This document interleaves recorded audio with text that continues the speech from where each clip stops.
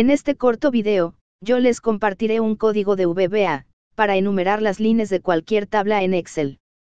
Si les gustó este video y quieren más videos como este, por favor suscríbase a mi canal.